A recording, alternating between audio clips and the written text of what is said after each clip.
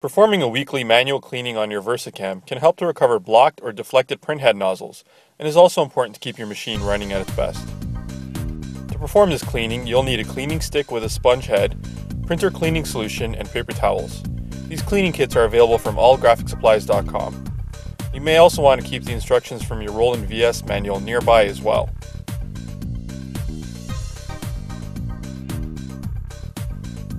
Start by selecting the cleaning function found under Menu, Submenu, then Maintenance.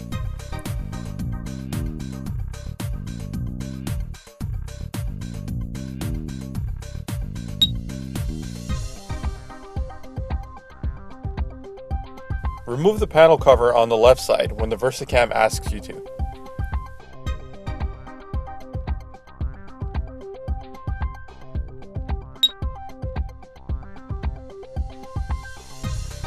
It will then ask you to remove the cut rail. The cut rail is held in place by a single white screw, which can be removed by hand.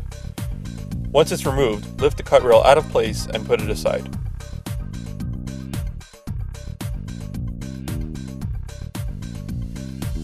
Press enter after removing the cut rail.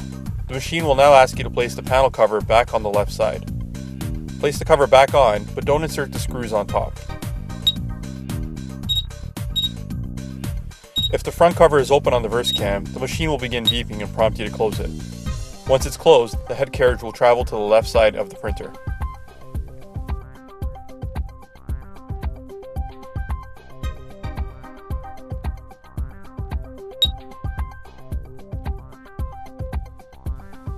You can now open the covers on both sides of the printer. It doesn't matter which side you open first, as long as the left side is opened at the same time.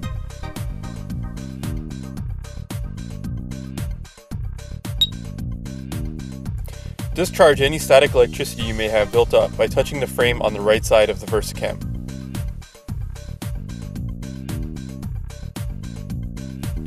Pour a few drops of cleaning solution on the stick, covering each side. It's better to pour the solution onto the stick rather than dip the sponge into the solution, since you don't want to possibly contaminate the cleaning solution at all. We're going to start with the bottom of the head carriage. Wipe the metal frame around the surface of the head, cleaning off any excess ink that might have built up. Be sure not to touch the surface of the head itself, as you might scratch the printing area. Next, clean the rubber wiper on the right side of the VersaCamm. Wipe both sides of it until any buildup ink has been removed. If the wiper looks like it needs to be replaced, you may want to do that once we're done this cleaning. Follow the instructions in our AGS tutorial for that procedure. Once you've cleaned the wiper, pour a few drops of cleaning solution into the cap as well. The solution should sit for a second or two, then drain.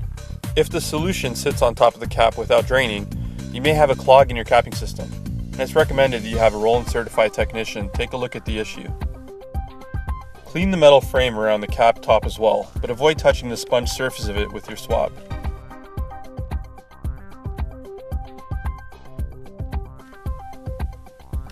Place the left cover back on the machine, then the right cover as well. Once they're on, press enter and the head will return.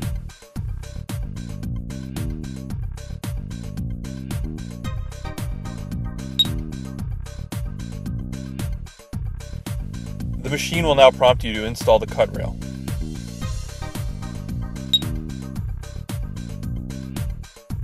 Pull off the left cover, then insert the cut rail into the slot on the VersaCamm. Use the white screw to secure it back into place. Once the cut rail is in, you can replace the left cover and secure it with the two black screws at the top of the cover.